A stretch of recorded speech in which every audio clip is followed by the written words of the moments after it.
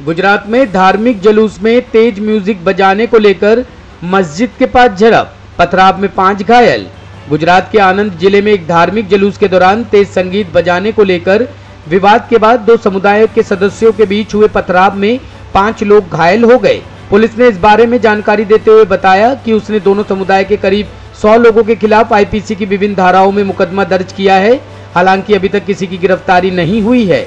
पेटलॉट ग्रामीण पुलिस के एक अधिकारी ने बताया कि ये घटना कल रात पेटलॉट शहर के पास बोरिया गाँव में हुई।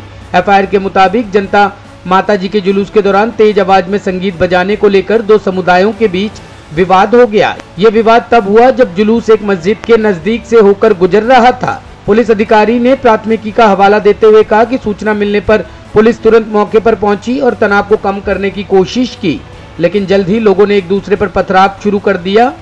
जिसमें चार से पाँच लोग घायल हो गए। पुलिस ने दोनों समुदाय के करीब सौ लोगों के खिलाफ आईपीसी की धारा एक सौ तरतालीस एक सौ सैतालीस, तीन सौ सैंतीस, पाँच सौ चार और अन्य प्रावधानों के तहत मामला दर्ज किया है।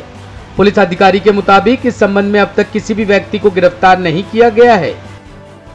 Bureau report, team top story news.